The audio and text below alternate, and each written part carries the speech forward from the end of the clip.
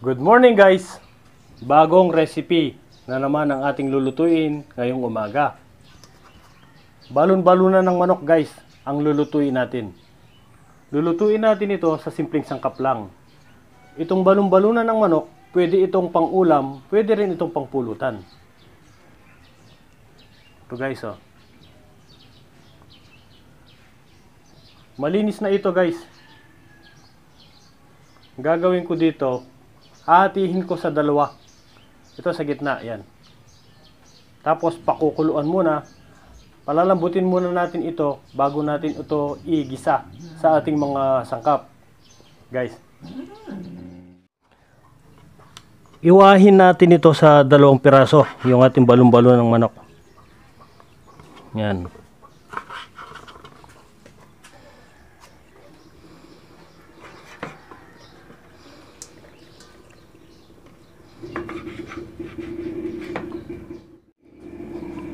Ganito ko siya hiniwa, yung ganito lang siya kaliit.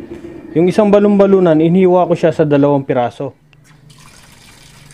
Shoutout nga pala kay Jen Romnick Balagtas. Maraming maraming salamat po sa suporta.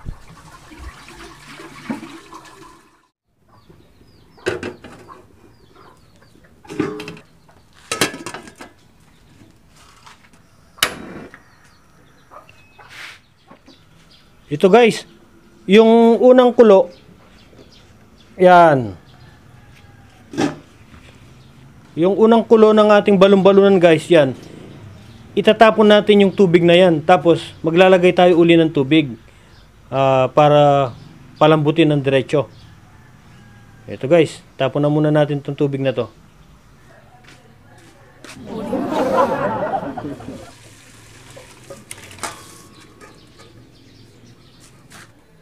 Unang kulo ng ating balon-balon ng manok guys yan. Tapos, ang gagawin ko dito guys, maglalagay ako ulit ng tubig para pakuluan ulit. Maglagay na suka sa pagpapalambot ng balon-balunan ng manok. Takpan natin ulit.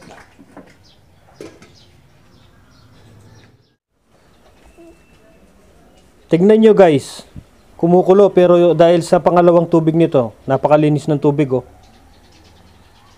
Ay wala kang malalasaan na ano na lansa ng balon-balunan ng manok. Mas masarap kung malambot na malambot yung ano, balon-balunan ng manok. Makunat kasi yung balon-balunan ng manok guys eh. Ito na, yung ating balon-balon ng manok. I-check na natin to kung malambot na guys. Subukan natin itong punitin guys kung malambot na. Yan guys oh, napakalambot. Yung pagkakaluto niya oh. Saktong sakto yung lambot niya guys. Hindi na siya makunat. Kamay pa lang yan oh. Paano kung ngipin pa to? Lutuin na natin. Drain na natin. Tanggalin na natin yung tubig. Ito naman yung mga sangkap na ating gagamitin guys.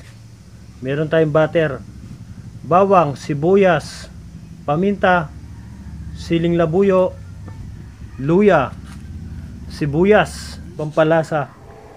At maglalagay din tayo ng tomato paste guys. Ayan. Umpisahan na natin yung ating pagluluto guys. Yung ating butter guys, ilagay na natin. Hindi tayo gagamit ng mantika guys. Butter ang gagamitin natin para creamy.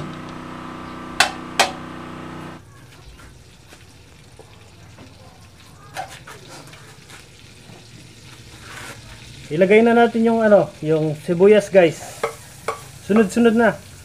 Bawang, luya at yung sili.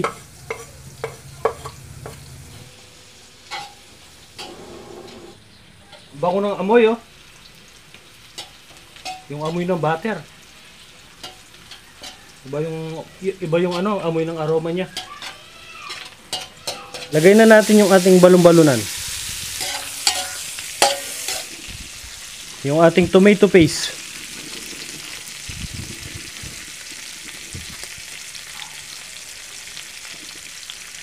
Seasoning.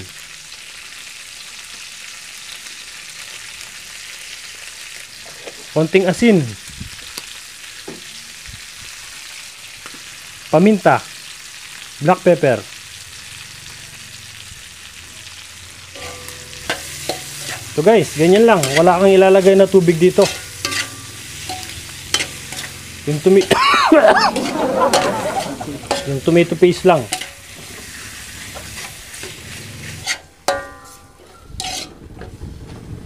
Yan guys, oh. Ganyan ang pagkakaluto nito guys, oh. Diba? Oh. Sigurado ang lasa nito guys, masarap. Kasi may pinaghalong butter at yung ating tomato paste. Lutuin lang natin to ng mga dalawang minuto. Yan, dalawang minuto luto na to. Ihalo ito ng ihalo hanggang sa dalawang minuto hanggang maluto na. So guys, luto na. Ito na guys, yung ating chicken gizzard with butter and tomato paste. Ito guys, oh. Try natin. Hmm. Malambot. Yung lasa niya guys, may pagka-creamy. Na medyo manamis-namis na maasim-asim dahil sa tomato paste. Sarap. Hmm?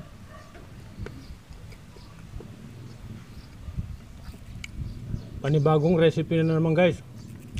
Yung ating niluto ngayong araw na to.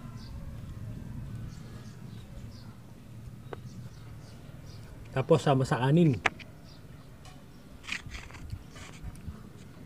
Hmm. Saktong sakto yung lambot. Yung lasa. So guys, oh. Naghahalo yung lasa ng butter at ng tomato paste.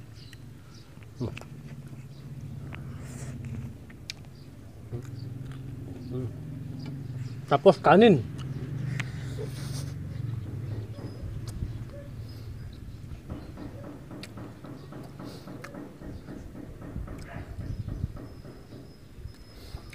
Bagong recipe sa balon-balon ng manok guys o gizzard.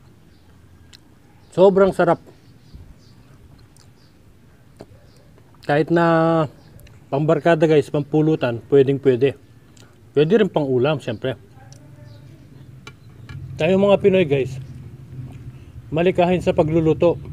Kahit anong luto, pwede. Basta swak ito sa ating panlasang Pinoy. No? Tulad nito guys, balon-balo lang manok. Pero kakaibang luto.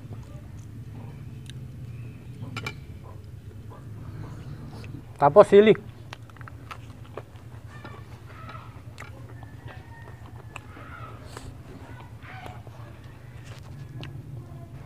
Guys, oh. Saktong-sakto yung lambot nito, guys. Mm.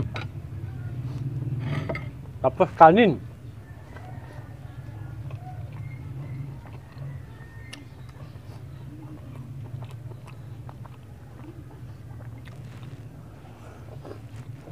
Subukan nyo ito lutuin guys. Promise. Hindi hindi ako mapapaya sa inyo kapag nasubukan nyo itong klaseng luto na to. Kasi naglalaro yung lasa nung butter at nung tomato paste. Saktong-sakto yung timpla. Tsaka yung lambot.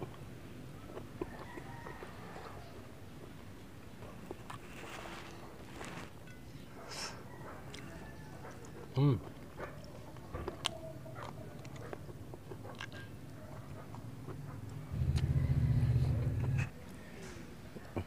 Hanggang dito na lang guys. Maraming maraming sa maraming maraming salamat po sa inyong panonood.